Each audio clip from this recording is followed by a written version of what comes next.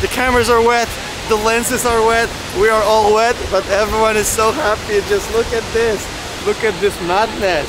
It's madness. It's we see waterfall and we go crazy because we're wedding photographers. Adventure elopements, that's an entirely different beast compared to traditional weddings. You're out in nature, often in extreme conditions, chasing once in a lifetime shots, but with great challenges come great rewards.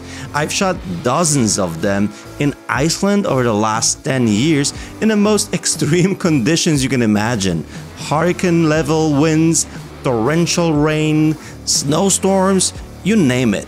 Each time it was a test of not just skill but determination, not just mine but also the couples. Your gear, it will get wet, your hands will freeze, and you'll probably be covered in mud by the end of the day. But that's the price we pay to capture moments that are raw, authentic, and extraordinary. So, how do you prepare? First, weather sealed cameras and lenses are a must. And here's a small but critical tip if you're shooting with Sony cameras, always use hot shoe covers. I cannot stress this enough. Without them, a few drops of rain on the pins can trigger those annoying unsupported accessory messages. A simple cover can save you from that frustration. On this particular shoot, my go-to lenses were 35 G Master and 50 1.2 G Master. These are primes that gave me the sharpness and bokeh, all I wanted for these intimate moments. But honestly, in conditions like this, probably a versatile zoom like the new 28 to 70 f2 G Master would have been amazing. I, I just wish I had it. It's better to avoid changing lenses altogether when you're battling rain, wind, and mud. Don't forget plenty of microfiber cloths. These are going to be your best friends for keeping the glass clean and to keep the contrast of the images. In these conditions, it just goes crazy. Trust me, you'll be using them constantly. And don't forget about yourself. Waterproof shoes, thermal layers, and quick dry clothing are essentials if you want to keep up with your adventurous couples. It's tough, but that's what makes it so rewarding. That's what makes it so fun. And honestly, you don't just survive these shoots, you thrive. Because being out there surrounded by this wild beauty is what fuels creativity and passion. So, what was the It's a Kind of Magic retreat all about? It's a kind of magic. Oh, you're wondering. Magic. What are you doing here? Where are you? Check this out. I'm in Iceland and I'm in just a t-shirt. It's so warm. It's so nice. They call it the land of ice, but there's hot water everywhere. It's not even cold. We're jumping here in a minute. So look at this. This is my crib. And this is where we're hosting It's a Kind of Magic Workshop Retreat 2024. Woo! Apple confetti. Add, add in post. So we're gonna start every workshop right there in sauna so everyone can get really comfortable and nice. And then straight after that, we come here and we learn. This is me teaching. This is you guys learning.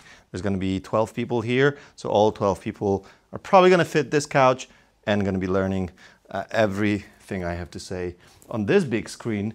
And then when we're done with this, we're gonna have a little fun.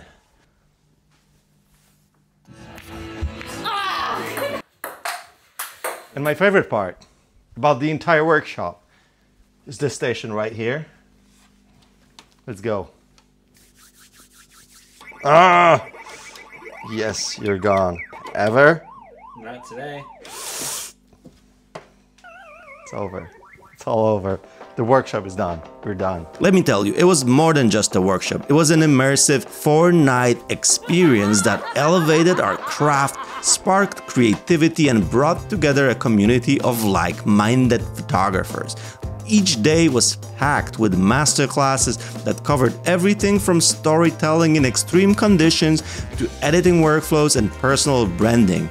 But it wasn't just about the learning in a room. We took those skills straight into the field. We explored Iceland's jaw dropping landscapes, waterfalls, black sand beach, and some secret locations off the beaten path. We shot together, experimented with new ideas, and created images we were all proud to share. And it wasn't all just work. There was so much laughter, amazing food, and unforgettable moments.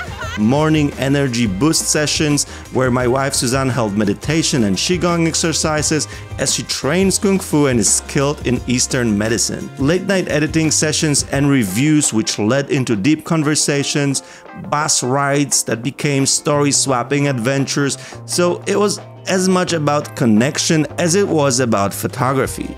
By the end, everyone left with portfolios full of breathtaking images, a head full of fresh ideas, and a group of friends who felt more like a family. And now we're doing it one more time this April. 2025 edition of It's a Kind of Magic. Four nights in this beautiful lodge, two days of photo shoots, one day of a trip, a family trip with our whole group, and then five master classes, photo review sessions, photo critique session, website critique session, and then plenty of time for one-on-one conversations. And here's the deal, for the next week until December 1st, you can grab this a special pre-offer. This is a pre-sale offer, $500 off and the entire digital collection of my courses and presets, so you're saving a value of $900 by reserving your spot for the It's a Kind of Magic this following week. I really want you to be there. This is the best event I've done in my entire life, and I just want to do it again. Like, it's gonna be amazing. It's a Kind of Magic 2025. The links are in the description.